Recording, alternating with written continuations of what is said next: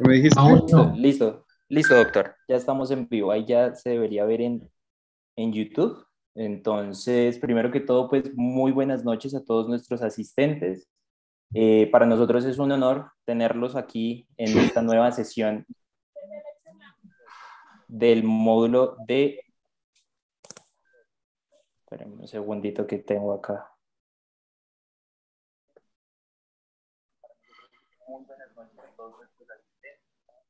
Perdónenme un segundo.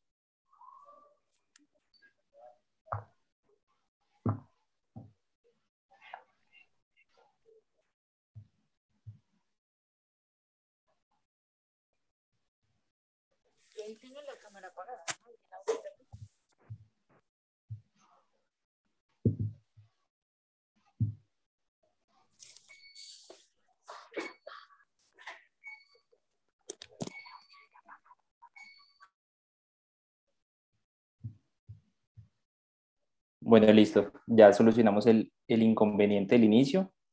Entonces les decía que muy buenas noches a todos, bienvenidos a este nuevo módulo de oncología, esta nueva sesión. Es un honor para nosotros tener al doctor Andrés Ricaurte Sosa en esta ponencia, la cual se denominó Guías de manejo basadas en riesgo para tamizaje de cáncer de cuello uterino. Nosotros somos el grupo de interés en medicina interna de la Universidad Cooperativa de Colombia, un grupo creado por y para estudiantes de medicina, en donde nos encargamos de realizar este tipo de ponencias y de invitar eh, a especialistas muy especiales de nuestra región, de nuestro país y también invitados especiales internacionales. Sin más, eh, quisiera darle la bienvenida, doctor Andrés. Eh, el auditorio es todo suyo. Bueno, muchas gracias, Carlos, Santiago, a todo el grupo de IMIC por la invitación. bueno, me, me han colocado un tema un poquito, eh, un poquito duro de exponer, pero voy a tratar de, que lo podamos entender y hacer un recorrido eh, eh, para todos lo más ameno posible. entonces, vamos a empezar. ¿Están viendo mi pantalla y me están escuchando? Sí, señor. Todo está perfecto, Doc. Gracias. Bueno, lo primero que quiero decir es que no tengo ningún, ningún conflicto de interés para la presentación de, eh, actual. Eh, y el contenido de esta presentación, bueno, primero vamos a hacer un recuento histórico y estadístico. Vamos a hablar del BPH como un factor de riesgo y oportunidades de actuación en prevención del cáncer de cuello uterino. Voy a recordar las guías colombianas porque es importante y algunas cosas voy a decir al respecto y de las estrategias de tamizaje en cáncer de cuello uterino. Voy a hablar de las nuevas guías de la ASCCP, de la Asociación Americana de Colposcopia y Patología Cervical del año 2019, que han pasado un poco como de agache o desapercibidas por cuenta de la pandemia también voy a referirme al tema de nomenclatura, a los patrones de riesgo y umbrales de intervención, a los escenarios de decisión. Vamos a hacer unos casos clínicos rápidos y las conclusiones. Muy bien. Em, para recordarle a las personas, eh, George Papanicolao comenzó con su trabajo eh, de, las, de las frotis vaginales eh, y para establecer los cambios en las células desde 1920. Desde esa época empezó esta historia para detección del cáncer de cuello uterino. Posteriormente se establecieron las primeras tasas de mortalidad de cáncer en cuello uterino que estaban en esta época en 36.3 por 100 mil. Van a ver ahora cómo está Colombia. Posteriormente, hacia los años 40, se hizo la primera publicación eh, respecto a cáncer y los cambios en los frotis vaginal, cérvico-vaginales. Hubo un lapso de tiempo en que no hubo ninguna publicación hasta que este señor Harold Hausen descubrió eh, que había una relación entre el cáncer de cuello uterino y el virus de papiloma humano y esto empezó a cambiar las cosas. Posteriormente se creó el sistema de TESDA, que tiene una nomenclatura que vamos a mencionar, Estados Unidos ya presentaba después de todo este tiempo, una reducción de la tasa de cáncer de cuello uterino a 7 por 100 mil después de haber estado en 36 por 100 mil. Y se empezaron a establecer eh, los testeos para BPH, los primeros aprobados por la FDA em, antes del 2000 y posteriormente la recomendación del COTEST en las pacientes por encima de los 30 años con citología, es decir, hacer test de BPH y hacer citología. Em, hacia mediados de los 2000, 2006, 2007, se aprobó el Gardasil, que es la vacuna eh, contra el BPH, y también eh, se aprobó el Cervarix, es la otra vacuna. Esta es para 16 y 18, y esta es para 16, 18, 6 y 11. Y después el Gardasil 9, que incluía adicionalmente eh, cinco subtipos de BPH oncogénicos. hacia los años 2015, entre 2015 y 2020, se aprobaron los test para eh, identificación de BPH y genotipificación, eh, este que es el COVAS 4800, y ya se empezó a finales de, llegándolo al 2020, a recomendar el screening primario, el tamizaje primario con virus de papiloma, con el test de virus de papiloma humano, en vez de hacerlo con citología como tradicionalmente siempre lo hemos conocido. En, cuanto a las estadísticas mundiales, pues nosotros tenemos el cáncer de cuello uterino siempre está entre el séptimo y el noveno lugar, con 600 mil nuevos casos en ambos sexos en 2020 estas son las últimas estadísticas de Globocan y de ellos 341 mil personas murieron. Igualmente, ya en mujeres es el cuarto eh, después del de seno, colon y pulmón. Y en la mortalidad, miren donde también está de cuarto con 7.7%, aportando 341 mil muertes. En Colombia, la situación acuérdense que les dije que las tasas eh, en Estados Unidos están en 7 por 100 mil, en Colombia están en casi 15 por 100 mil, con una mortalidad del 7.4 por 100 mil, con 4 mil, casi 4.500 casos anuales y 1.900 muertes. Estos son los datos de 2020 para Colombia. Y se calcula que este año vamos a estar con todo este tema de pandemia y la dificultad en el acceso a los servicios de salud por encima de los 5.600 casos.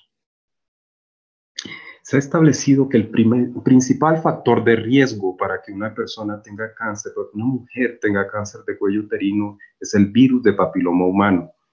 Este tiene una prevalencia entre el 14 y el 30% entre los 18 y los 65 años de las mujeres y el 84% de estos son oncogénicos.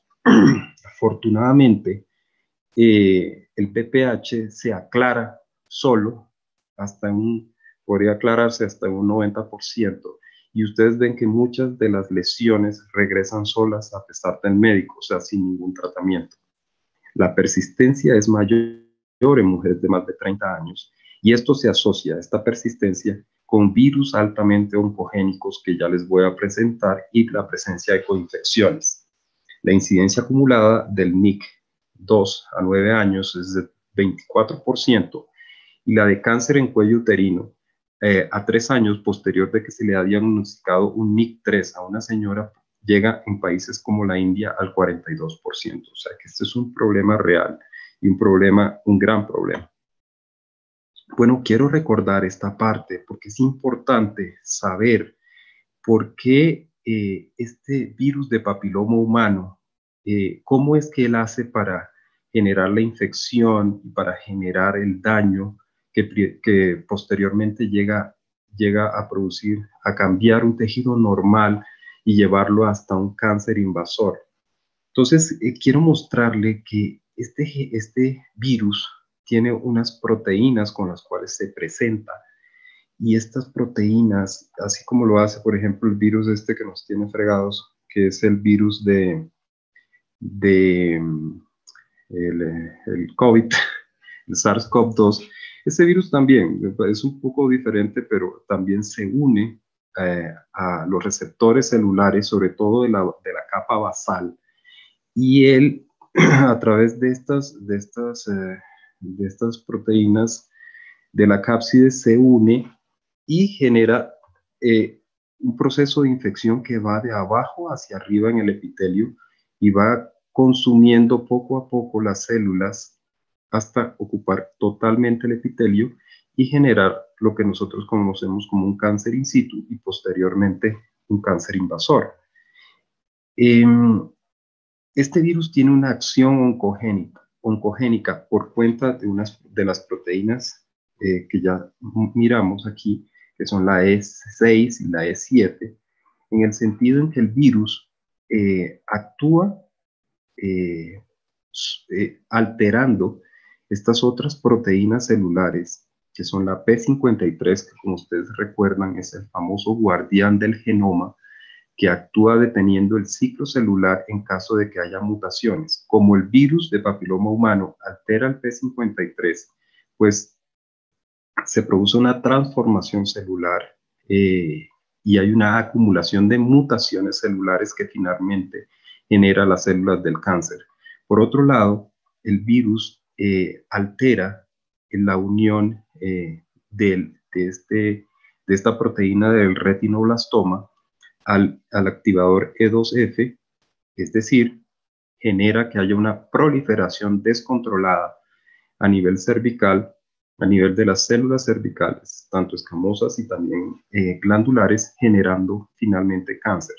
Entonces, digamos que el virus tiene un mecanismo de acción que nosotros lo podemos ver en algunos cambios de la colposcopia, eh, de, un, cuello de apariencia completamente normal con unos cambios eh, iniciales que luego se aumentan y posteriormente terminan en cáncer.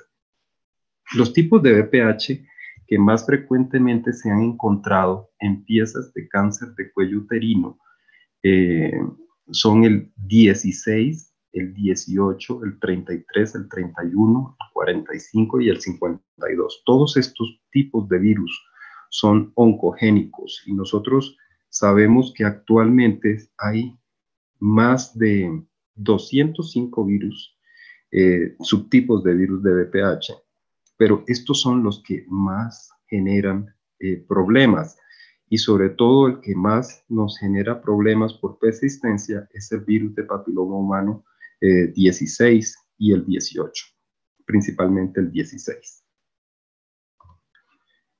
Entonces, este es como el modelo de decisión de lo que pasa según la historia natural de la enfermedad. ¿Qué es lo que nosotros queremos idealmente? Pues atacar o intervenir en una paciente sin infección con una prevención primaria con la vacunación, con estas vacunas que ya mencioné, eh, Cervarix, o Gardasil o Gardasil 9 em, entre los 9 y los 14 años de, las, de las niñas, ¿sí? Pero si no logramos esto, miren, eh, nosotros empezamos con un buen ritmo de vacunación, llegando a un momento incluso a tener más del 70% eh, por ciento de, de pacientes vacunadas, pero después de lo que sucedió en Carmen de Bolívar, Actualmente estamos oscilando en un porcentaje de vacunación niñas entre el 17 y el 20%. Y yo creo que eh, lo, lo, más importante, yo creo que una enfermedad como esta que puede generar cáncer de cuello uterino, lo principal es la prevención. Pero bueno, eh, si no podemos prevenir, pues tenemos que hacer prevención secundaria eh, y tratamiento del precáncer. Una vez se ha instaurado la infección por VPH, pueden pasar varias cosas. Que el virus se aclare solo y regrese a una paciente que ya no tiene el virus. O que progrese a una lesión intraepitelial de bajo grado. O que progrese después a una lesión intraepitelial em, escamosa de alto grado. Y que esto finalmente, después de una evolución natural, genere un cáncer de, de cuello uterino por persistencia. Esto puede suceder tanto en las células escamosas como en las células glandulares. Y ya, pues cuando estamos en este punto o estamos ya al final de este punto, pues ya lo que nos queda es los tratamientos que todos conocemos de cirugía, eh, de conizaciones, etcétera. Entonces, eh, y de histerectomías. Entonces, por eso la OMS para 2030 propuso una estrategia que se llama 90-70-90, es decir, tener el 90% de las niñas vacunadas. Les recuerdo, Colombia está en cerca del 20%, o sea que está muy por debajo de lo que propone la OMS. 70% de mujeres entre los 35 y los 45 años ya tamizadas adecuadamente y un 90% de mujeres identificadas y ya tratadas, logrando una incidencia de menos de 4, casos por 100.000. El país a nivel mundial que está más cerca de tener esto, acuérdense que nosotros estamos en casi 15 por 100.000, es Australia que está en 5 casos por 100.000. Entonces, y cuando uno ve eh, las estadísticas de cuánto se necesita para bajar 2 a 3 casos por 100 mil por año, uno se da cuenta que cada país demora entre 10 y 20 años. O sea que para bajar de 15 a 4, creo que nos vamos a demorar bastantes años, aún haciendo las cosas bien. Entonces, eh, eh, y reducir la mortalidad de 3, en un 3.4 o un 30% de lo que actualmente tenemos. Entonces, eh, bueno, esto resumen cuáles son eh, las, eh, las fases de infección del BPH, posteriormente la persistencia viral, que es lo que genera el problema, la progresión clonal y la invasión que genera cáncer de cuello uterino. Este es el manejo tradicional, digamos, el, que encontramos en las guías del Ministerio de Salud, que los invito a que las lean, es la guía 44, la última que tenemos, que es la de 2014, que nos decía, o nos dice, mejor dicho, que nosotros entre los que empezamos a tamizar pacientes después de los 25 años, es decir, después de los 25 años hacemos citología, entre los 25 y los 30 años, y que después de los 30 años realmente el tamizaje se debe hacer con virus de papiloma humano. O sea, nosotros con test de, de BPH. Entonces, yo lo que veo es que seguimos haciendo citología a todo el mundo. O sea, citología y citología y citología y no se solicita el test de BPH y me parece que es importantísimo que se pida el test de BPH porque así está establecido en la guía que incluso esta guía pues ya lleva siete años y, miren lo que está, y ya les voy a contar cómo va avanzando esto.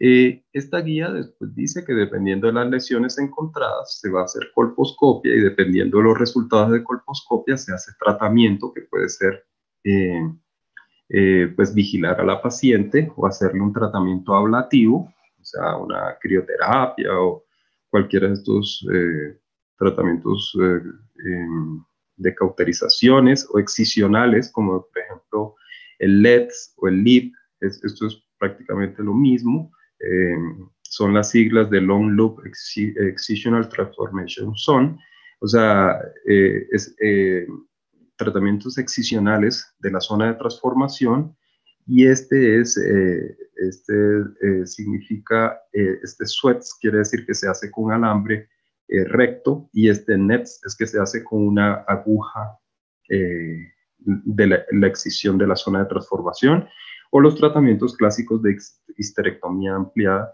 o radical. Y bueno, aquí no metí el famoso eh, cono frío, que, que, cada día pues está más, más en desuso, pero que si no tenemos la oportunidad de hacer estas estas resecciones con radiofrecuencia, pues se tiene que hacer conizaciones en frío. Entonces, y en medio de todo esto está la tamización para población rural que tiene difícil acceso a los servicios de salud, eh, que se llama vía Billy, o sea, inspección visual con ácido acético o inspección visual con Lugol, que se hace entre los 30 y 50 años. La citología, miren, la sensibilidad que tiene es una Es un eh, examen con una baja sensibilidad, pero tiene una buena especificidad y el test de BPH tiene una buena sensibilidad y una especificidad que está por encima del 90%.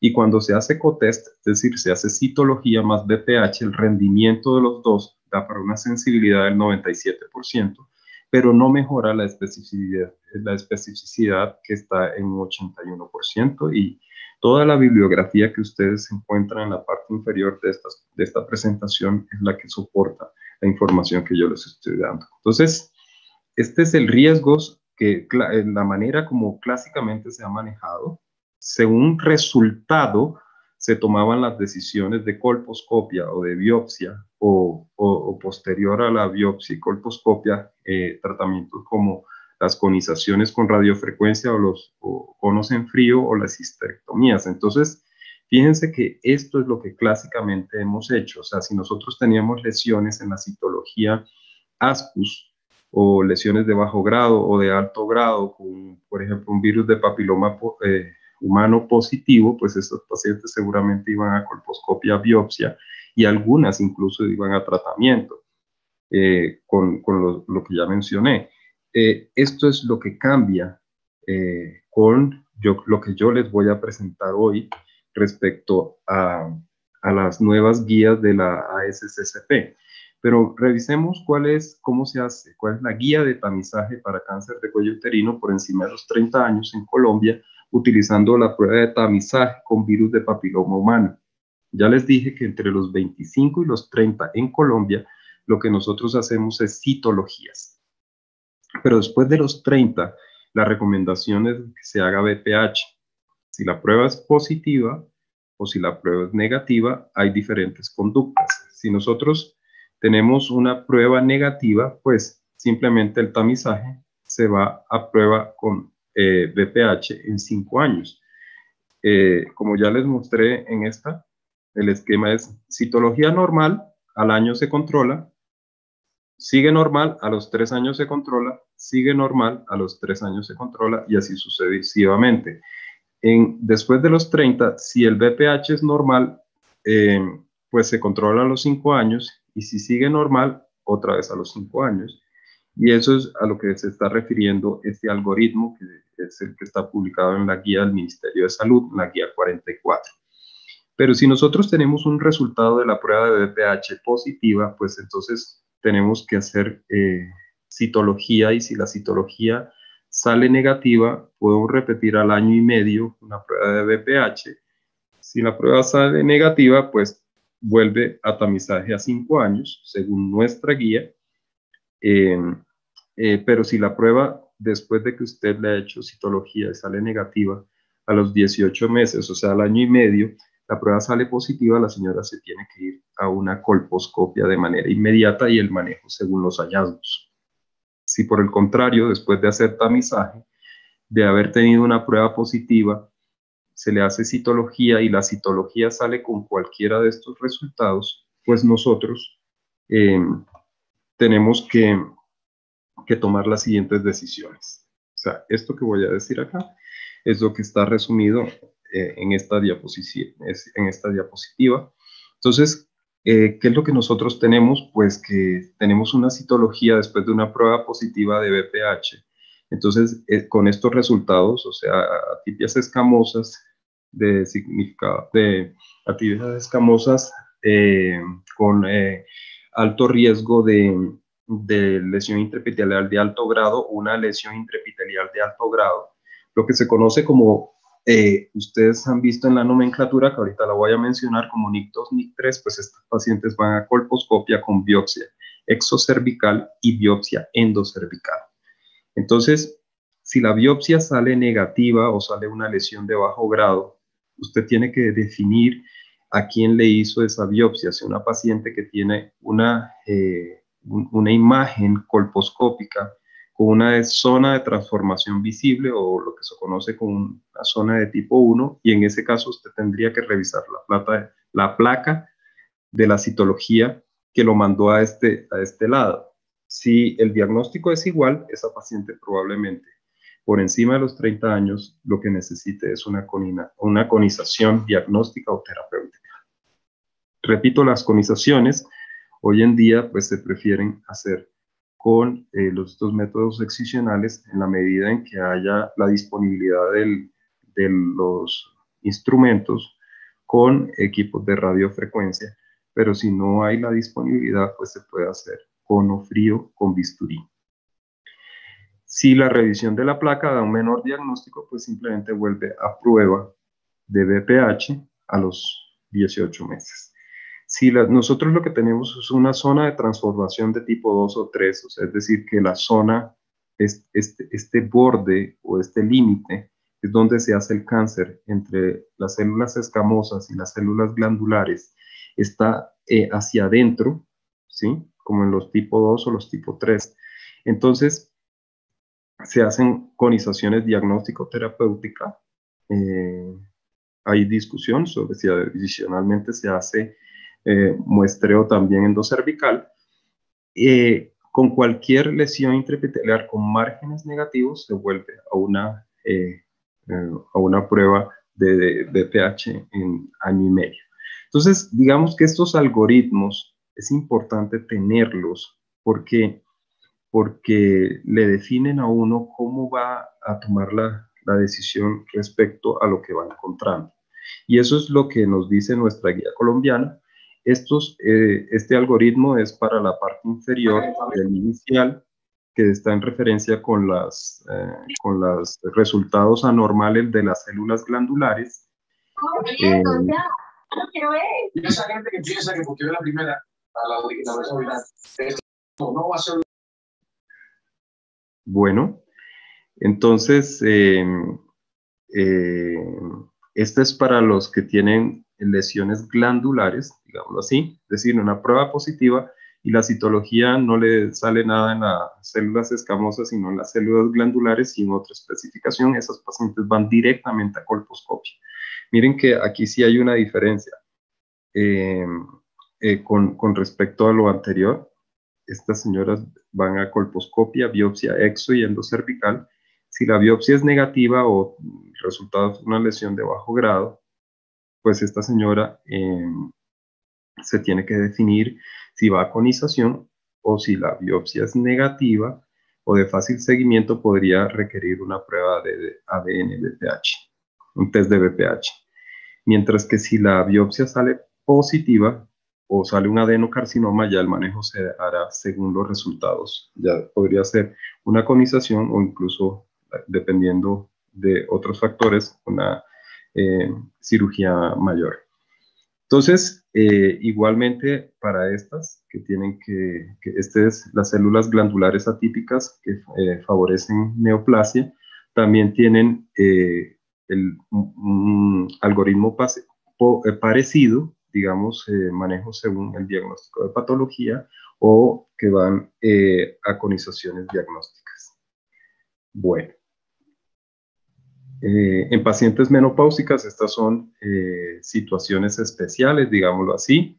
En las pacientes menopáusicas, muchas veces uno puede ver bien el cuello o hay mucha atrofia. En estos casos, eh, las pruebas de BPH son muy útiles y si uno tiene una citología en, el, en la citología de, de, triaje que le hace junto con la prueba de, de BPH, eh, y le sale negativa o ascus, eh, en las nuestras guías la recomendación es que estas pacientes vayan a colposcopia ¿sí? y biopsias. Eh, y hay que mirar que no vaya a haber lesión endocervical, por eso es importantísimo que según los hallazgos se le haga biopsia endocervical a todas estas pacientes que van a colposcopia, que son menopáusicas. Si obviamente el resultado es negativo, uno podría volver a hacer una prueba de BPH, pero si le sale una lesión de alto grado, debe manejarla según resultado. Igualmente, si le sale una citología eh, de alto grado, pues esta señora va a colposcopia biopsia. Si la colposcopia biopsia sale eh, de alto grado, manejo según resultados. Si le sale negativa una lesión de bajo grado, está obligado a hacer conización, porque estas pacientes pueden esconder eh, en el canal endocervical lesiones porque uno no logra ver completamente eh, muchas veces la zona de transformación. Entonces, eh, recomendaciones estándar de la colposcopia para, este, para estos pacientes, no utilizar al azar en pacientes con tamizaje que tenga menos de lesiones de alto grado sin evidencia de BPH 16-18 o pacientes con colposcopia eh, normal, pues no, no, requieren colposcopia, no requieren biopsia, perdón.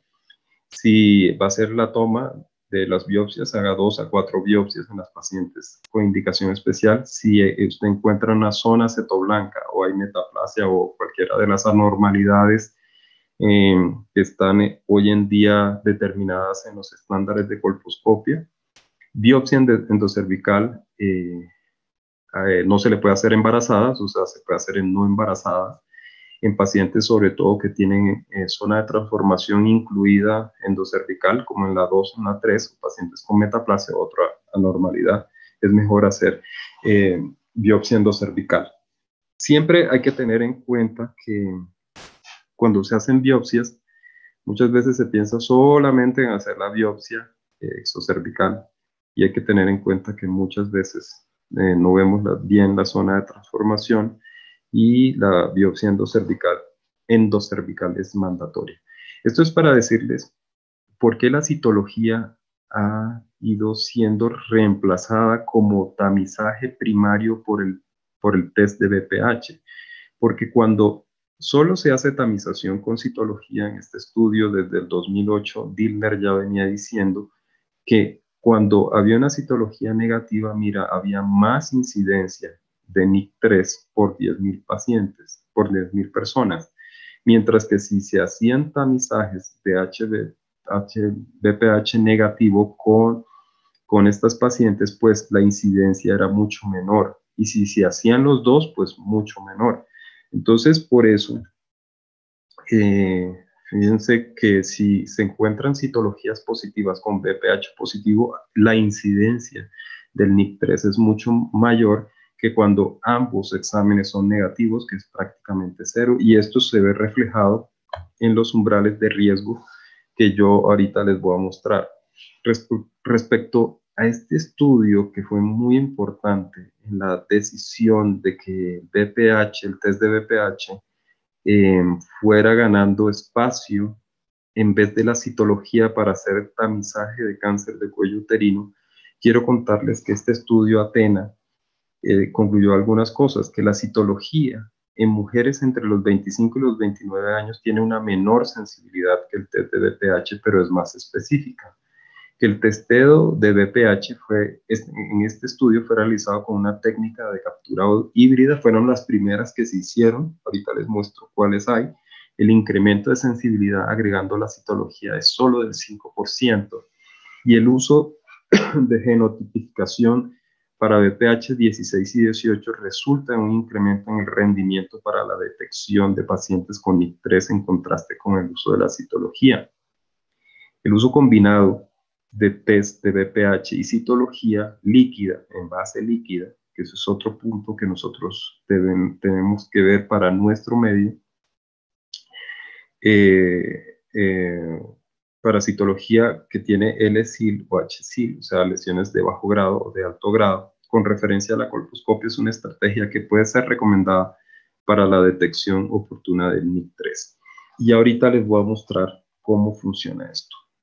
Entonces, se sabe que hay una relación entre la persistencia de la infección por virus de papiloma y la, incidencia de las lesiones de alto grado, como por ejemplo en el NIC2 el CREN publicó esto en el 2017 y dijo, mira, cuando hay una persistencia conocida del virus de papiloma humano, sobre todo los oncogénicos de más alto riesgo, hay una mayor incidencia en la aparición de, neoplasia intraepitelial cervical de tipo 2 o más, incluyendo el NIC3. Entonces, ¿cuál es la utilidad de la prueba de BPH? ¿Sí? Eh, respecto a lo que estamos haciendo. Estamos en el 2021 y realmente tenemos que cambiar la idea de que únicamente para cáncer de cuello uterino eh, lo que tenemos para ofrecerle a la señora es una prueba de citología, una citología común y corriente. Entonces, ya nos dice la guía, por encima de 30 años en Colombia ya está establecido que usted debe pedir prueba de BPH. prueba de BPH y las EPS están en la obligación de hacerla. Eso está en el plan obligatorio de salud. ¿Por qué? Porque nos sirve como triaje de las anormalidades de bajo grado halladas en la citología.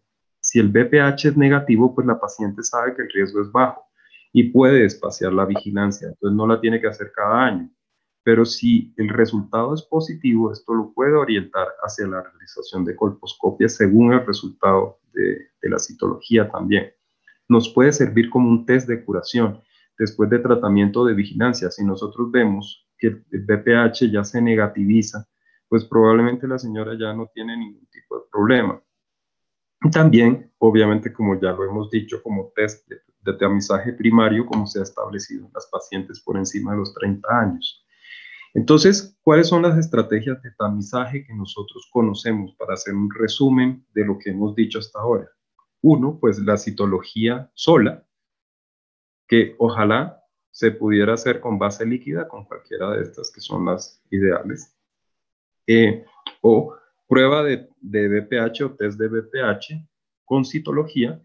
En, en Estados Unidos ya con las nuevas guías está esto establecido para pacientes por encima de los 25 años, pero como ya les mostré en nuestras guías, está para pacientes de más de 30 años. O sea, usted aquí en Colombia todavía por guía, digamos así, si uno habla de pertinencia o de correlación entre lo que dice la guía y lo que uno debe hacer como médico en su consultorio, pues si le llega paciente entre los 25 y los 29 tendría que pedirle citología, pero si le llega por encima de los 30 años tendría que pedirle eh, test de BPH eh, con citología refleja.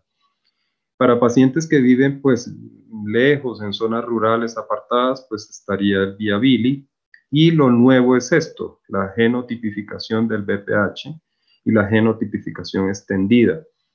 Eh, en, en, cuanto a los resultados eh, que uno ve en, cuando le reportan el diagnóstico histopatológico, pues está la inmunohistoquímica P16 y el KI67, que le sirve para diferenciar lesiones de bajo grado y lesiones de alto grado, eh, o pacientes con riesgo de, de de tener alto, complicaciones con el alto grado con genotipificación de BPH de alto riesgo.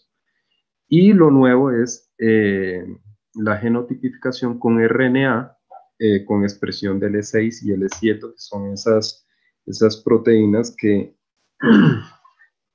que produce el virus, que son las que indican que hay una alta replicación. Estos son los test de, detección de BPH que nosotros eh, tenemos disponibles eh, en muchos aquí en Colombia también. Yo veo que aquí en Pasto hay muchos test de detección basadas en este, que es el Aniplex 2, eh, de, que es coreano, de Sijin. No he visto aquí que todavía se haga el test de Becton Dickinson Clarity, que detecta DNA para E6 y E7, que son partes de, del, del virus como ya les dije, de replicación activa. Eh, ni he visto Aptima, que es el que está ahora en boga en los Estados Unidos, que es un test para, para RNA mensajero, eh, E6 y E7 viral. O sea, general, bueno, ya casi no se ven estos de captura híbrida y tal, o pues creo que los hospitales de aquí pueden tener este, que es el de Roche, el COVAS 4800, que es una PCR in vitro, porque ya no se hacen de captura híbrida, sino que ya la mayoría de los nuevos test para BPH se hacen con PCR. Estos son, el último aprobado es el OnClarity en 2018.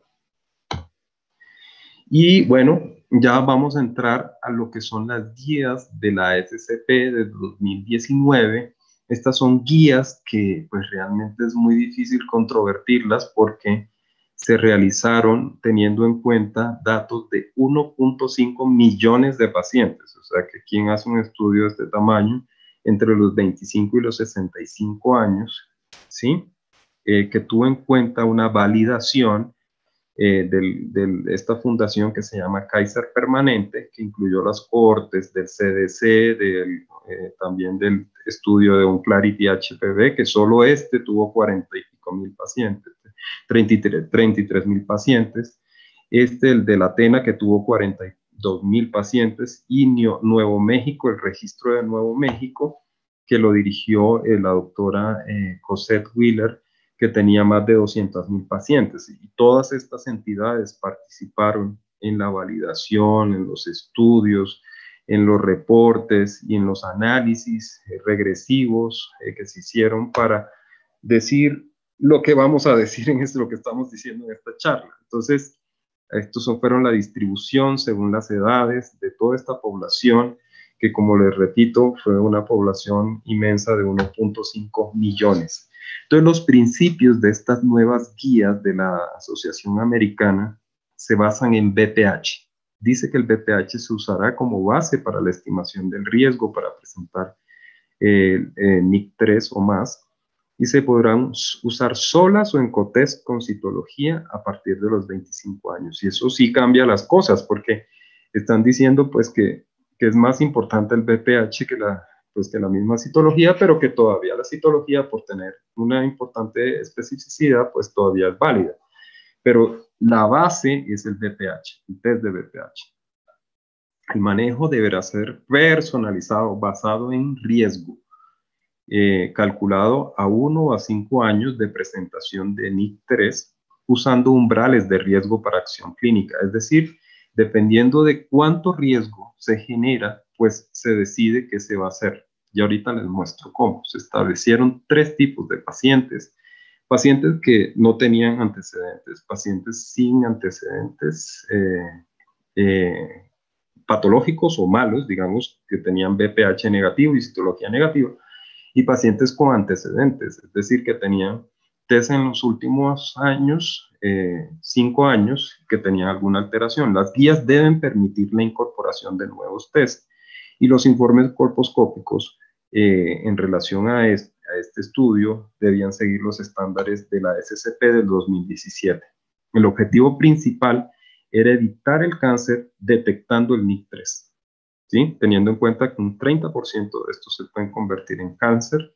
Las pautas se aplican a todas las pacientes que tienen cuello uterino, igual manejo para igual riesgo calculado por presentar NIC3, o sea, a diferencia de las anteriores guías que se basaban no en riesgo, sino en resultado, y había que tener un equilibrio entre beneficios y daños, porque muchas de las pacientes que, por ejemplo, tempranamente se les hacía diagnóstico, de un NIC 1 o un NIC 2 o terminaba en una conización. Entonces, y ya una señora muy joven, pues ya con una conización encima.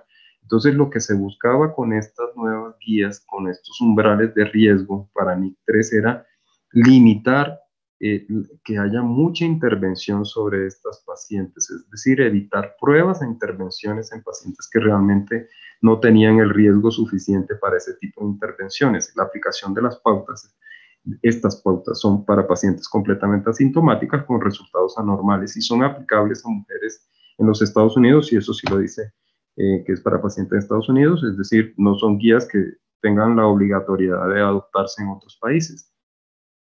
Eh, la colposcopia podrá ser diferida en algunos casos, como ya les voy a mostrar, como ASCUS o lesiones de bajo grado, con BPH positivo, con antecedente de BPH negativo, eh, y las guías hacia el tratamiento expedito se amplían para algunos casos, como por ejemplo las lesiones de alto grado con, la, con test de BPH de alto riesgo 16 y 18, em, con HSIL previo tratado que da un riesgo de más del 60%.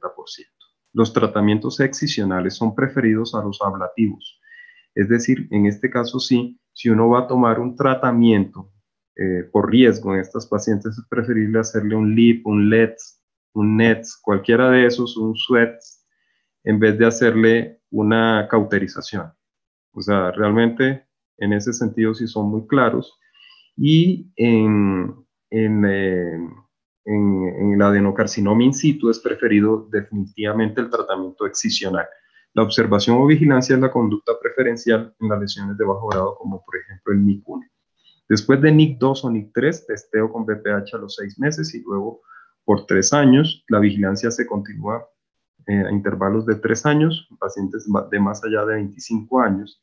Es aceptable siempre que la esperanza de vida del paciente y su estado de salud sean adecuados. Es decir, ya no, ya no se establece que eh, las pacientes se las vigila hasta los 65 años, sino que se continúa el control siempre que la señora, la mujer puede ir a hacerse em, este, test sin problema. O incluso su misma citología, o sea, podría estar 75, 80 años y se puede seguir haciendo, eh, si la condición de salud general de la persona lo permite, eh, controles. La vigilancia con citología solo es aceptable si no es factible realizar test de BPH o pruebas simultáneas. En estos casos se recomienda que sea con más frecuencia intervalos de seis meses, eh, cuando se recomienda la prueba de BPH o, la simultánea anualmente y se recomienda citología anual cuando se recomienda intervalos de tres años para BPH o la prueba simultánea. Es decir, que si la recomendación estándar es cada tres años de control, se baja uno si solo es con citología y si es cada año se baja seis meses.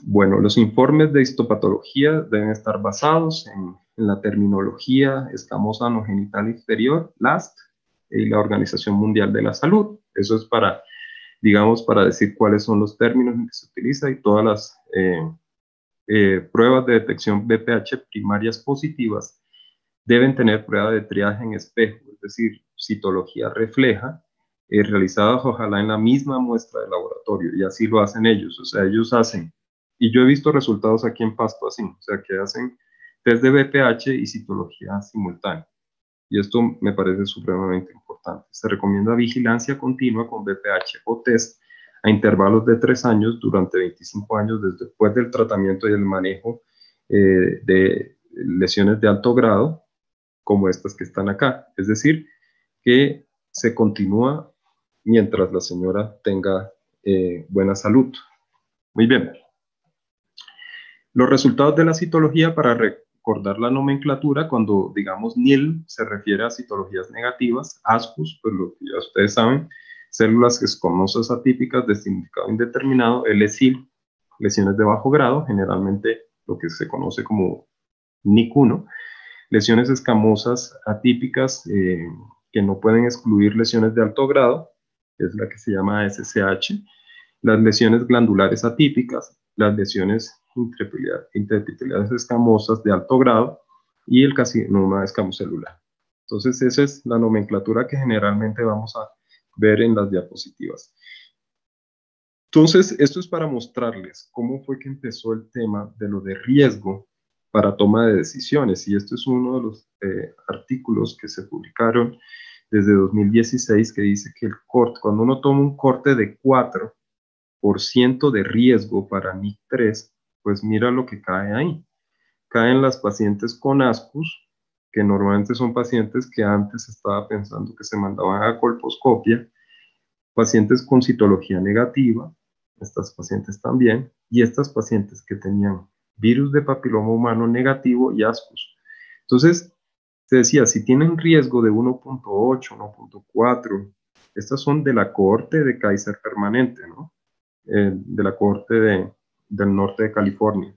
Entonces, si uno tenía estos resultados por debajo de este umbral, probablemente estas señoras las que tenía que hacer un control de, de, vigilancia y no, por ejemplo, no hacerles colposcopia ni hacerles biopsias ni nada de eso. Entonces, y fíjate que aquí incluye a estas pacientes que tienen lesiones de bajo grado. Mira, estas también caen en un riesgo de 1.4. Entonces esto sí ya cambió la perspectiva porque nosotros estamos acostumbrados de que siempre que teníamos una paciente ASPUS o ninguno o este tipo de resultados, esos pacientes iban directo a colposcopia siempre. Entonces, y esto podía terminar en cualquier cosa, incluso una conización. Entonces, eh, este es el cambio. Eh, las tres actitudes que se pueden tener pues son vigilancia, el control puede hacer al año, a los tres años o a los cinco años, dependiendo de los resultados, o lo otro que usted podría hacer es una colposcopia, o lo otro que podría hacer es el tratamiento. Entonces, este corte del 4% es lo que determina en estas guías de la SCP de 2019 que es lo que vamos a hacer. Si nosotros calculamos un riesgo según los resultados del BPH combinado con la citología y nos da por encima del 4%, entonces estas señoras van a colposcopia Si está por encima del 25, pues va a tratamiento versus colposcopia. Y si está por encima del 60, probablemente va a tener que ir directo a tratamiento. ¿Tratamiento cuál? Pues lo que ya hemos dicho, generalmente de lo, menos, de lo más conservador a lo más... Eh, a, a los tratamientos más agresivos, o sea, idealmente una conización que como ya he dicho varias veces, se prefiere que sea con radiofrecuencia, con LED, con LED, cualquiera de esos. Y si estas pacientes están por debajo del umbral del 4% de riesgo, pues estas señoras van a control a un año o a tres años o a cinco años, dependiendo de, en qué rango están. Si el riesgo es menor de 0.15, pues a cinco años, entre 0.15 y 0.54 a tres años, y si están entre 0.55 y 4, pues vienen a control a un año. Entonces miremos cuáles fueron los escenarios de decisión que establecieron los de la cohorte de Kaiser permanente para, para mirar este tema. Eh, si hay personas que apenas están conectando a esta charla, pues no, creo que pues vieron una, los que ya han estado desde el principio, pues vieron una charla y ahora viene otra. Entonces, eh, no se han perdido de la parte jugosa de lo que queríamos o de lo que queremos exponer en el día de hoy. Entonces, estos son los escenarios de decisión. En escenario 1 es una paciente que tiene una historia desconocida, o sea, no se sabe si esa señora se hizo citología, ni nada, ni BPH, ni nada, y sin tamizaje previo. El escenario, eh, otro escenario es pacientes que sí se hicieron un BPH y que ese BPH de entre los cinco años previos le salió negativo. El escenario 2 son pacientes que no requirieron colposcopia y que una tuvieron una historia de un BPH positivo, pero una citología que estaba normal. La otra, historia de BPH negativo y ASCUS, historia de BPH negativo y un NIC1, por ejemplo. El escenario 3 es pacientes que sí requirieron colposcopia biopsia y que el resultado fue, por ejemplo, bajo grado, menos de NIC2 o alto grado. Entonces, y finalmente, las pacientes después de colposcopia con biopsia que tenían un NIC tratado, por ejemplo, si les trataron un NIC2 y que posteriormente tenían BPH y COTES negativo. Entonces, las variables, como ya les dije, la historia previa, el resultado actual del BPH y el resultado actual de la citología y esta parte que me parece importante, cuál era el riesgo para hacer un NIC3 a inmediato dentro del siguiente año o un riesgo a los cinco años. Entonces, yo he, he, diseñado estas tablas. O sea, estas tablas no las van a encontrar en ningún lado porque son, o sea, las cogí y las extracté de las tablas que ya más adelante les voy a mostrar que son muy complicadas de, como de mirar, pero, pero me parece que este es un buen resumen y estas tablas sí no las van a encontrar en ningún lado. Yo, las hice y las hice especialmente para esta charla porque me parecía práctico definirlo así.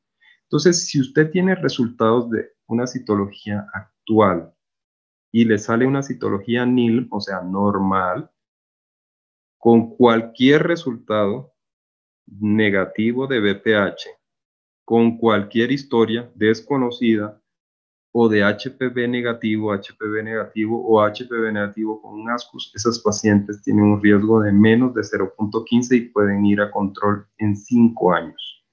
Esto es importantísimo, saberlo.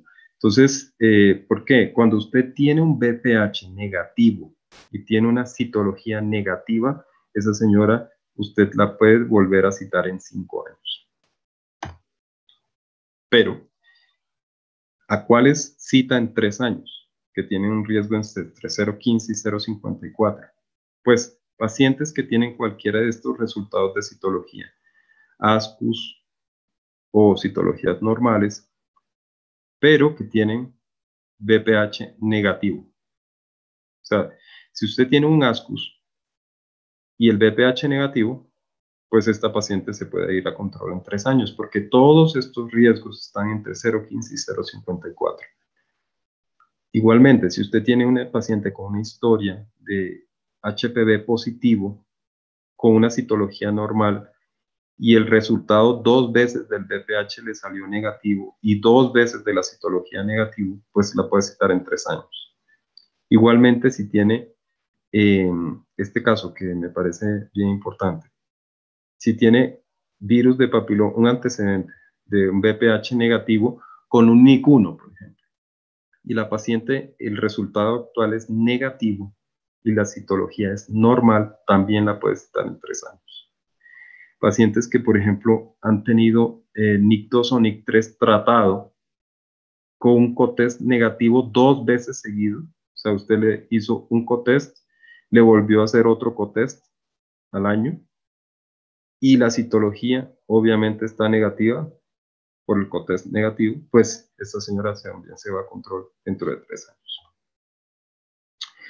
¿Cuáles ve al año? Pues pacientes que tienen, por ejemplo, historia desconocida, que el BPH es negativo y que tienen un NICUN. Normalmente estas pacientes que usted le llegaba a la citología NIC1 se iban a colposcopia. Estas pacientes ahora usted puede tomar, según estas decisiones de, del eh, Kaiser permanente, de las nuevas guías de la ASCCP, usted las puede controlar en un año. O sea, no necesariamente tiene que enviarlas a colposcopia. Igualmente, si usted tiene un HPV negativo, tiene un virus, un test de BPH negativo y le sale un NIC1, también puede venir a control en un año. Y esto es muy importante, pues esto sí cambia las cosas. Si usted tiene, por ejemplo, una paciente con HPV negativo, el resultado actual del BPH es positivo, y la paciente le sale con un resultado de citología negativo, pues esta paciente también puede venir a control en un año. ¿sí?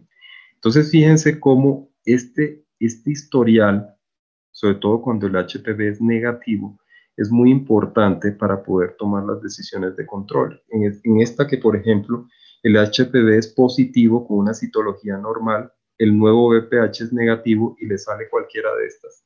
ASCUS, NIC1, NIC o sea, por el hecho de tener el HPV negativo en el control, usted la podría volver a citar a un año. Entonces, todas estas cosas hay que tenerlas en cuenta porque a veces uno está pensando siempre que NIC1, ASCUS y estas cosas siempre van directo a colposcopia. Y fíjense que con estas nuevas guías que son basadas en riesgos, entonces uno podría tomar la decisión de no mandarlas directamente a colposcopia, sino de citarlas al año a estas pacientes. Eh, bueno, aquí hay más ejemplos. Eh, por ejemplo, una paciente que tuvo eh, un NIC de alto grado, un NIC 2 o un NIC 3, se le hizo tratamiento y la paciente llega con un BPH negativo y la citología le sale NIC 1 o ASCUS. Esta paciente también puede ir a control dentro de un año. Entonces, ¿a cuáles a colposcopia? Pues generalmente las pacientes que tienen eh, resultados de citología de alto grado, ¿sí? Y algunas que tienen de bajo grado, como estas, pero que tienen BPH positivo. Entonces, si tienen de alto grado, en general, si tienen de alto grado y tienen BPH positivo, ¿sí? tanto actual como anterior, pues estas pacientes van a colposcopia mejor porque el riesgo está entre 4 y 24. Esto, esto es básicamente lo mismo. También si tienen resultados de citología de alto grado, ¿sí? Con BPH actual positivo y antecedente de alto grado, pues estas señoras se van a colposcopia también. Esta es parecida.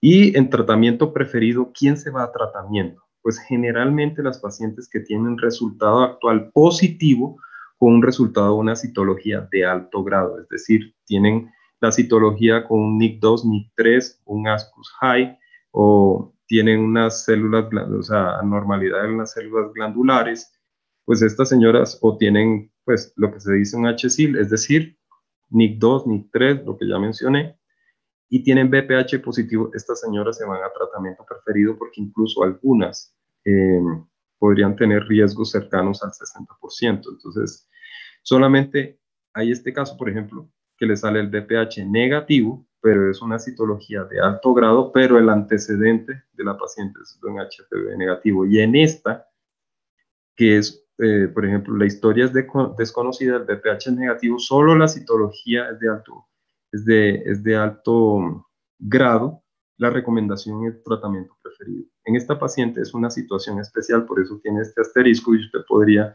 definir en ella hacerle una colposcopia, pues está en 25 el riesgo, como ustedes ven, está en límite de la decisión para decidir si es colposcopia. Y estas son las tablas que trae la SCP y que están resumidas en lo que ya les dije. Escenarios de historia desconocida, resultados de BPH eh, eh, y riesgos. Entonces aquí le dice, tiene un riesgo de 2.1 inmediato, pues estos pacientes se van a un año de seguimiento, pero si está por encima de 4, 4.4, pues esta señora se va a colposcopia. Eh, yo hice estas tablas también para que miráramos como con dibujito cuáles se iban a, colposcopia. Entonces, por ejemplo, estas que tienen BPH negativo, pero una citología de, alto grado, pues esas se van a colposcopia definitivamente. Pero si uno tiene eh, una, una, lesión de bajo grado con HPV negativo, pues esta señora se va a controlar un año. ¿sí? Y si definitivamente tiene una citología normal con BPH negativo, pues esta señora se va a controlar 5 años. Estas son las tablas, más o menos están resumidas en lo que ya les dije, pacientes eh, que tienen historia de BPH negativo cinco años antes. ¿Cuáles se van a colposcopia? Las que tienen, al hacerle el nuevo BPH, el BPH positivo y una citología francamente anormal. Si no, en general estas pacientes se van a control de seguimiento al año, eh, al año. Y si tienen HPV positivo con un ASCUS high, pues estas señoras sí se van a colposcopia, habiendo tenido un HPV positivo, pero el nuevo es HPV eh, negativo y el nuevo es HPV positivo con un ASCUS eh, high, o sea, un riesgo, una lesión que podría ser de alto grado. Y ahí están las tablas. Más o menos eh, son los resúmenes de, las, de, lo, de lo que anteriormente mencioné en las otras tablas. Entonces, aquí eh, en este caso, se dice cuál es el manejo del NIC1 por biopsia, precedido de una citología ASCUS high. Esto muchas veces pasa esto, o sea, le sale a la persona una citología eh, células escamosas atípicas con, mm, con, posible lesión de alto grado. Eh, estas señoras, depende de la edad que tengan, si tienen más de 25 años o menos de 25 años, acuérdense que si tienen menos de 25 años, es preferible no hacer intervenciones eh, por la edad de la paciente, pero si tiene más de 25 años, al control al año, puede suceder que tenga una citología negativa, entonces va a control a tres años. Si tiene una citología anormal, pues el manejo es según los resultados. Pero si le llega a salir una anulación de alto grado a esta paciente de más de 25 años, ¿sí? Eh, al año o a los dos años, o a esta de menos de 25 a los dos años, sí es preferible hacerle un procedimiento excisional, es decir, un, lead, un LEDS, un lo que ya mencioné. Entonces, eh, NIC1, dependiente de los controles eh, de citología, eh, se toma esas decisiones. Manejo de NIC1 por biopsia precedido una citología de un ley de alto grado. Esto también eh, también es controvertido, eh, pues son situaciones especiales. Si usted tiene eh, un NIC1 que le dio en la biopsia, pero la citología era de alto grado, usted dice, ¿yo qué hago aquí? Pues, pues la cita a un año por el resultado de NIC1. Y si todos los test son, siguen negativos, pues los, tiene que citar, lo sigue siguiendo a los tres años. Pero si hay anormalidad lo maneja según el resultado. Si la lesión le sale de alto grado, entonces ahí sí tiene que tomar la decisión de hacer un, proceso, un procedimiento decisional. O sea que los resultados citológicos de alto grado sí nos sirven para definir en los seguimientos qué vamos a hacer con las pacientes. Entonces, estas tablas es para más o menos indicar lo mismo.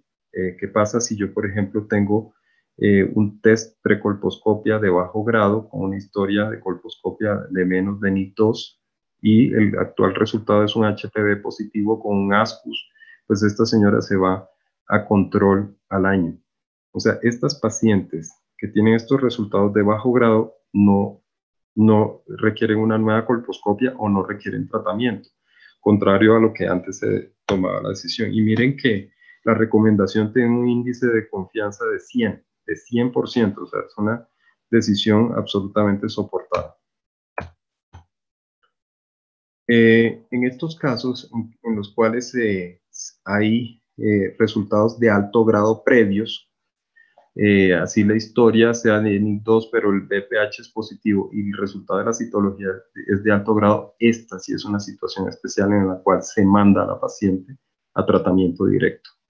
Igualmente, si la citología aquí, así el BPH sea negativo, es preferible enviar estas pacientes a colposcopia. Entonces, fíjense que esta, por ejemplo, con HPV positivo se manda a tratamiento, pero esta con HPV negativo se manda a eh, colposcopia.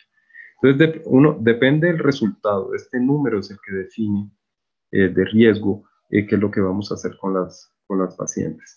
Un caso clásico es cuando usted tiene un NIC2 o NIC3 previo tratado tiene un resultado de citología de alto grado con un resultado de BPH positivo nuevamente, pues esto podría ser una persistencia con una citología de alto grado, esta señora tiene que ir a tratamiento. Entonces, y aquí eh, eh, miren que el riesgo está por encima del 63%. Eh, aquí la, la, pregunta que da para charlas es, ¿estas pacientes, por ejemplo, van a, a recono o estas pacientes ya van a histerectomía? Pues depende. Depende de, depende de la paciente, depende de la edad de la paciente, de la paridad, etcétera, el deseo de fertilidad, etcétera. Eh, pero que si se puede hacer recono, sí se puede hacer. Em, eh, y usted tendrá que definir si esta paciente le hace un recono o si pues, pues, incluso podría enviarla a una histerectomía. Entonces, y estas pacientes que ya han sido tratadas con NIC y que después van a control y dos veces el HPV ha salido negativo y, también dos veces el, el, el, resultado de la citología ha sido negativo, pues esta señora se puede seguir a tres años. Entonces no tiene ningún problema. Eh, si solamente ha tenido un control HPV negativo y una citología HPV eh, y una citología negativa, pues estas señoras en cotest de control, después de un NIC2 o un NIC3, se van un año de seguimiento. Si al año todo sigue negativo, se van a tres años.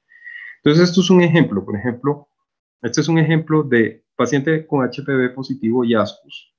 Eh, ¿Cuál es el manejo? Pues según la recomendación, con riesgo de 4.5 es colposcopia. Hace una nueva visita y el eh, resultado em, de la, eh, perdón, visita la colposcopia, el resultado es NIC1. Entonces el riesgo es 2.9, entonces usted la cita al año. y después la, al año le hacen un HPV y le sale positivo y el resultado de la citología es ASCUS, la puede volver a citar al año. Si al año el HPV le sale negativo y le sale la citología normal, pues la puede citar a los tres años. Pero si por el contrario el HPV le vuelve a salir positivo y le vuelve a salir la citología ASCUS como al principio, el, la recomendación aquí es hacer una colposcopia. Entonces, aquí les voy a dar unos ejemplos de, cómo se toman las decisiones, o sea, con unos casos. Una mujer de 32 años se presenta para un examen de detección, niega haber tenido una colposcopia o tratamiento en el pasado, pero sus registros médicos no están disponibles, ¿sí? Por lo que se desconoce su historial. es una paciente que no tiene historia conocida y los resultados actuales son, tiene ASCUS, y tiene un BPH positivo. ¿Sí? Cuando uno se va a la tabla, el riesgo es 4.4. En este caso, la conducta es colposcopia. ¿Dónde está esto? Pues en la tabla. Lo voy a devolver. Pues, no se ve bonito devolverse, pero, pero les voy a mostrar dónde está esto. Historia desconocida HPV positivo, ASCUS, riesgo 4.4, conducta, colposcopia. Entonces, ustedes me dirán, y entonces cada vez que nos llegue este, estos resultados que nos toca buscar las tablas, o pues hay una aplicación, como todo ahora, hay una aplicación en la cual uno mete esos datos donde le pregunta historia, conocida, desconocida, desconocida. Resultado de la citología, ASCUS. Resultado del BPH, positivo. Riesgo, se lo calcula 4.4 y ahí mismo le dice la conducta. Para facilitar eh, las decisiones. Hay una, eh, una aplicación de la ASCCP. Esta aplicación tiene un costo de más o menos 10 dólares. La pueden conseguir. Caso 2. Una mujer de 35 años se presenta para la prueba de detección niega haberse sometido a una colposcopia o tratamiento en el pasado y la documentación del historial médico muestra que su último resultado fue una citología normal con BPH negativo. Los resultados actuales son ASCUS y BPH positivo. Se va a la tabla, el riesgo es 3.8, conducta, seguimiento un año. Así funciona. Y ojo, no, que en este caso, ASCUS y DPH positivo. Cualquiera pensaría, esa señora se tiene que ir a colposcopio. La conducta de seguimiento un año. Una mujer de 32 años se presenta para seguimiento, su historial es un resultado más contundente hace un año que fue NIL y DPH positivo, su resultado es hoy ASCUS y DPH negativo. Riesgo 2.6, conducta, seguimiento un año. ¿Sí? Una mujer tiene un resultado eh, LSIL positivo para DPH, LSIL y positivo para DPH, seguido de una biopsia que muestra eh, que tiene un ICUNO. Se presenta para seguimiento al año y su resultado es ASCUS positivo, ASCUS y positivo para BPH. Riesgo 3.1 y esta paciente va a seguimiento. Es decir, estos resultados de bajo grado generalmente van a seguimiento. Y este caso a un año. Mujer de eh, que tiene antecedentes de NIC3 que se trató con un procedimiento de decisión diagnóstico. Se le hizo un LEDS. Eh, se le hizo porque tenía un NIC3, o sea, una lesión de alto grado. Se presenta seguimiento y los resultados son citología normal y BPH positivo. Riesgo 5.8. Esta señora se va a colposcopia. Estos son los casos en que puede ser que el BPH siga persistente en esta señora. Y en estos casos, como el antecedente es un NIC3, es mejor revisarla con una colposcopia y se dice que el tratamiento, si se decide hacer un cono pequeño con LEDs pequeño, pues es aceptable. La paciente eh, tiene antecedente de un NIC3, ¿sí? Y eh, seguido una prueba BPH negativa de control, se presenta para seguimiento y su segundo resultado, es decir, al otro año, que usted le hace otra vez un BPH, el resultado de la prueba también es negativo. Esta señora puede ir a seguimiento en tres años. Como ya les dije, pacientes que son tratadas con lesiones de alto grado y que los seguimientos son BPH negativos, pueden ser seguimientos de cada tres años. Es decir, no hay que estar haciéndole eh, citologías y cosas cada año, sino que se pueden ir a tres años. Finalmente, quería decirles que ahora hay una nueva propuesta de manejo que es con genotipificación extendida y esto es lo último que hay en manejo y en tamización de, cáncer de cuello uterino y probablemente las conferencias que ustedes escuchen a estar en relación con esto.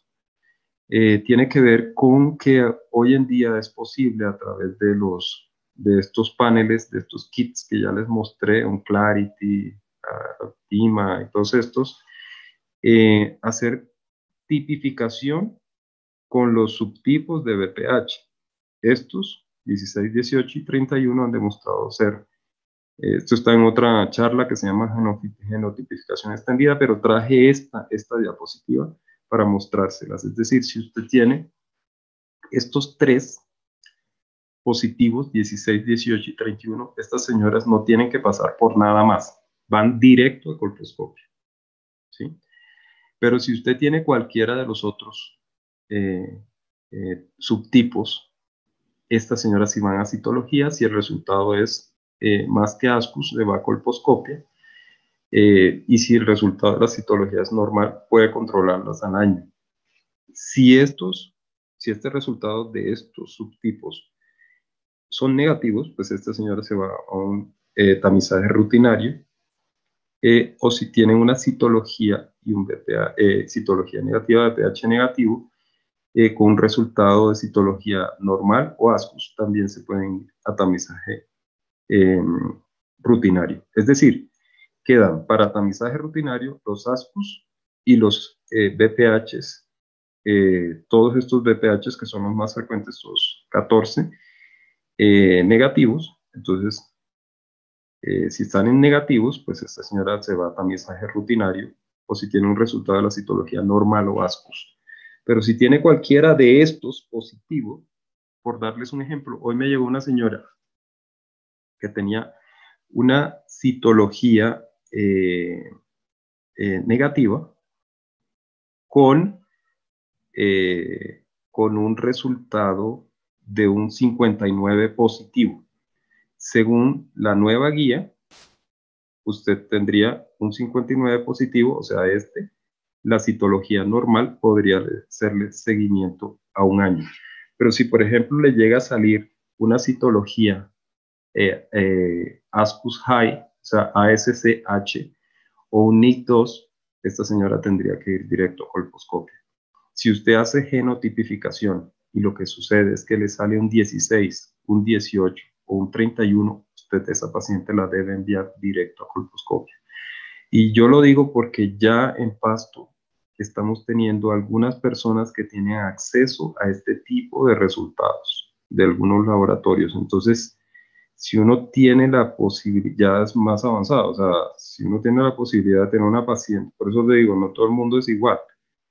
Eh, si hay pacientes que ya tienen la posibilidad de tener screening primario con BPH, ¿sí? Y citología en base líquida, y, tiene que entrar a este algoritmo, debería entrar a este algoritmo, aunque no se han actualizado las guías, em, lo que sí es cierto es que probablemente hacia, hacia un futuro muy cercano las guías vayan a estar adaptadas a este sistema.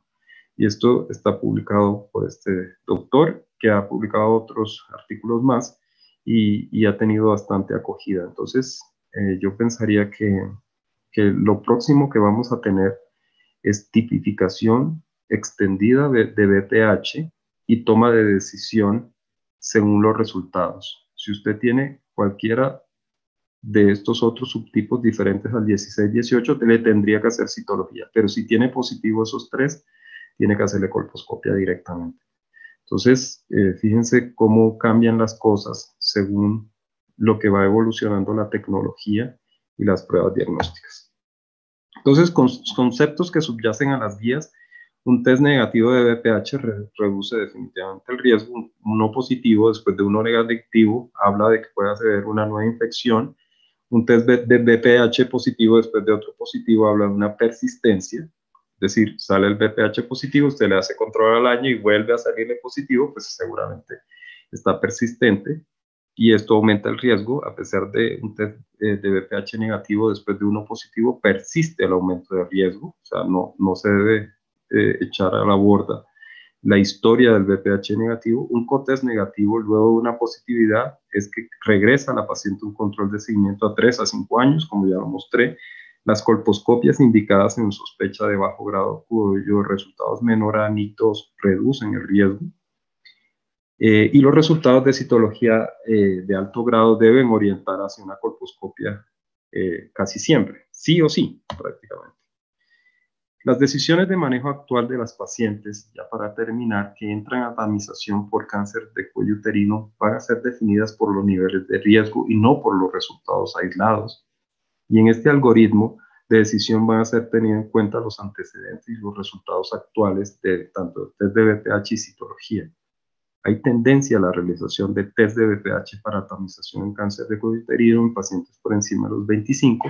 Les repito, en nuestra guía eh, estos test se realizan en pacientes por encima de 30 años, los test de BPH, no por encima de 25, pero en Estados Unidos ya se están haciendo por encima de 25, en Europa, en Europa también, en Australia también, en Portugal, la citología sigue siendo válida pero idealmente ojalá en base líquida. Y entiendo que los laboratorios aquí de patología y los que procesan citologías, pues cada vez la tendencia más es que vayan a base líquida y la genotipificación extendida va a constituir en un futuro próximo eh, en lo que va a tener relación con el tamizaje y los algoritmos de toma de decisiones en las pacientes. Entonces, en resumen, lo que les quiero transmitir es que los test de BPH eh, en pacientes, como dice nuestra guía, por encima de los 30 años, deben estar en nuestra cabeza para poderlos solicitar. Es decir, recordar que hoy en día hay más tendencia hacia hacer estos test de BPH eh, que hacia, hacia hacer citología. ¿sí? Recuerden que se pueden hacer citología y BPH al tiempo. Entonces, eh, pero no, no encontrar la actitud de un médico hoy en día pidiéndole a una señora de 35, 40, 50 años eh, citología. Solamente citología. No, pues ya sabemos que tenemos estos test de BPH y usted ya sabe que si ese test de BPH, por ejemplo, le sale negativo, probablemente esa señora lo tiene que controlar en 3 a 5 años y no tiene que volverle a hacer citología ni nada de eso. Entonces, seamos prácticos y, para eso sirven estas actualizaciones. Eh, yo no estoy diciendo que la citología no sirve para nada, lo que estoy diciendo es que tanto nuestras guías nacionales como internacionales dicen que los test de BPH son los que permiten definir riesgo. Y según ese riesgo es que se toman las decisiones de que se van a hacer las pacientes. Entonces ese examen hay que solicitarlo de tal forma que uno pueda eh, tomar eh, una decisión un poquito mejor informada sobre la paciente que tiene al frente. Bueno, les agradezco. Yo creo que nos repasamos de tiempo, pero, pero creo que era importante que, que habláramos este tema que, que, pues creo que es de mucho interés para, para las personas. Entonces, eh, no sé si todavía los que quedan eh, pues tienen alguna pregunta y pues con mucho gusto. Bueno, primero que todo, muchísimas gracias, doctor. Eh, de verdad, muchas gracias por actualizarnos, sobre todo a nosotros que estamos aún en el pregrado. Realmente eh, le aplaudo muchísimo su, su, presentación y créame que significa muchísimo en nuestra formación y en nuestra próxima práctica clínica. Tenemos algunas preguntas en YouTube, entonces eh, vamos a pasar a una ronda muy corta de preguntas. Entonces, la primera es, ¿Cuáles son las ventajas o por qué se prefiere realizar procedimientos excisionales con radiofrecuencia versus cono frío? Eh, gracias. Pues la, respuesta es la siguiente. Eh, pues hay, hay varias razones, ¿sí? Los conos eh, con bisturí tienen mayor riesgo de hacer, por ejemplo, con complicaciones como, por ejemplo, sangrado, tienen mayor riesgo de posteriores al cono, como por ejemplo la estenosis, ¿sí? Eh, tienen, bueno, eso, sangrado, estenosis, es decir, como tal, son más mórbidos que los que, los, eh, que las conizaciones, digámoslo así, que se hacen con estos equipos de radiofrecuencia. Pero ojo, ¿no? Hay una condición importante para utilizar, utilizar los equipos de radiofrecuencia, que eh, se deben utilizar con los instrumentos adecuados, es decir, con las, con las asas adecuadas y con los, eh, los timing y, los, la intensidad de la, de la energía que se utiliza para hacer los LEDs o los CON o, las, los LEAD de manera adecuada. Por otro lado, cuando se hacen conos fríos, se ha visto, eh, o sea, conos con bisturí, a eso es que me refiero, se, ha, visto que las consecuencias desde el punto de vista del, tema de, la, de, la, de los embarazos posteriores de las pacientes tienen más complicaciones. Eh, por ejemplo, es, es, más frecuente ver partos pretérminos o, o, incluso abortos en pacientes que han tenido conos fríos, eh, en vez de que se les haya realizado procedimientos excisionales con, con asas de radiofrecuencia. Perfecto, doctor, muchas gracias. Eh, la siguiente pregunta nos dicen, en caso de que exista un antecedente familiar DCA, ¿es indicación de hacer seguimiento de citología o prueba de pH más tempranamente o se sigue manejando el mismo esquema 1133 o 155? Eh, en pacientes que, por ejemplo, tuvieron un carcinoma in situ, ¿sí?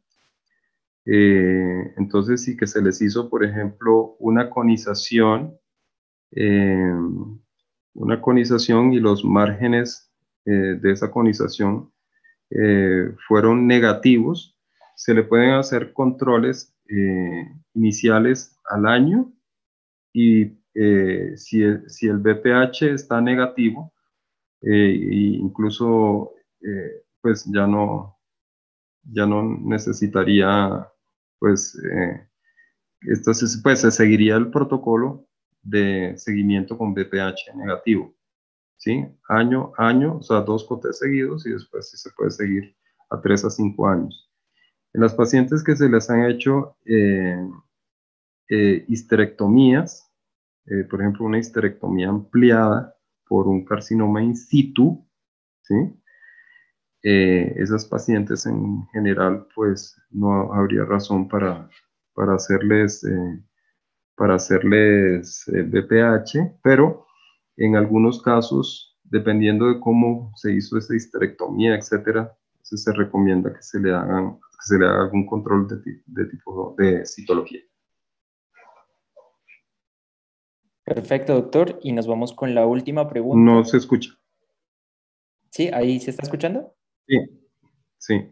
Perfecto. Entonces, la última pregunta nos dice, eh, buenas noches, doctor. ¿En mujeres con histerectomía se debe hacer el mismo tamizaje según la guía para detectar lesiones precancerosas y de cáncer de cuello uterino? ¿En el mismo qué? Eh, en, a ver, la repito. En mujeres con histerectomía se debe hacer el mismo tamizaje según la guía para detectar lesiones precancerosas y cáncer de cuello uterino? Mm, no. O sea, si son, por ejemplo, histerectomías que se hicieron por una miomatosis uterina, no requieren, no requieren tamizaje. En las cuales, ojo, ojo, ¿no? En las cuales se quitó por completo el cuello, ¿no? Porque recuerden que hay pacientes que, hay pacientes que, que les dejan el cuello porque les hacen histerectomías subtotales. Y eso es una, eso es una pregunta importante porque eh, estas guías están referidas a pacientes que tienen cuello. O sea, si una paciente no tiene cuello, pues no requiere el tamizaje. Y, y si además fue operada por una patología benigna. Perfecto, doctor. Bueno, muchísimas gracias. Eh, en el chat de YouTube tenemos muchos agradecimientos y felicitaciones por su magnífica ponencia. En cuanto a las estadísticas de YouTube, llegamos a 100 reproducciones totales. Estuvimos en un pico de casi 40 personas conectadas simultáneamente. Y pues nada, muchísimas gracias realmente por, hacer, por ser partícipe de nuestro módulo de oncología y de nuestra iniciativa hecha por estudiantes. Eh, nada, a todos los asistentes los invitamos a revisar nuestro canal de YouTube y nuestras redes sociales donde también tenemos material académico que les puede ser de gran utilidad. Así que muchísimas gracias, doctor Andrés. Bueno, muchas gracias a ustedes, muy amables y a todos los